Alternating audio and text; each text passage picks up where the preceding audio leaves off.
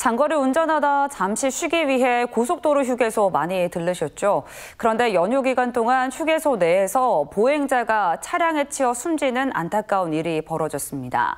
사고가 난 휴게소는 보행자 안전을 지키는 구조물 등이 전혀 없었는데 한국도로공사가 7년 전부터 개선 사업을 추진해 왔지만 전체의 70%는 그대로입니다. 박원 기자입니다. 중년으로 보이는 부부가 휴게소에서 길을 건너는 순간 갑자기 SUV 차량이 뒤에서 덮칩니다. 서행하는 차량과 정차된 차량까지 그대로 추돌합니다. 추석 연휴 나흘째였던 지난 1일 중부고속도로 상행선 오창 휴게소에서 차량이 돌진해 50대 부인이 숨지고 남편이 크게 다쳤습니다. 사고가 난 현장입니다. 서행을 유도하는 노면 표시나 과속 방지턱, 횡단보도 등은 전혀 찾아볼 수 없는데요. 보행자들이 교통사고 위험에 그대로 노출돼 있는 셈입니다.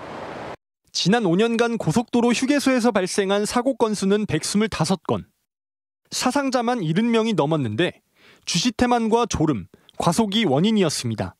많이 느끼지요. 저도 운전을 하고 다니는데 이렇게 휴게소 진입하면은 뭐, 뭐 식당이나 화장실 갈 때 상당히 위험하다고 생각을 하죠. 상황이 이렇자 한국도로공사는 지난 2016년부터 표준 모델 휴게소 개선 사업을 실시하고 있습니다.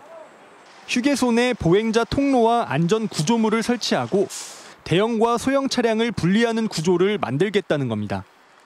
하지만 지금까지 적용된 휴게소는 전국 207개 중 60개에 불과합니다. 관련 예산도 2년 전 10억여 원에서 올해는 2억여 원으로 줄어들었습니다. 표준 모델 적용 휴게소를 계획대로 시행하기 위해서는 좀더 어, 적극적으로 정부가 나서서 관련 예산을 확보해야 한다고 생각합니다. 고속도로 휴게소 사고가 끊이지 않고 있는 만큼 더 촘촘한 대책 마련과 제도 시행이 시급합니다. CJB 박원입니다.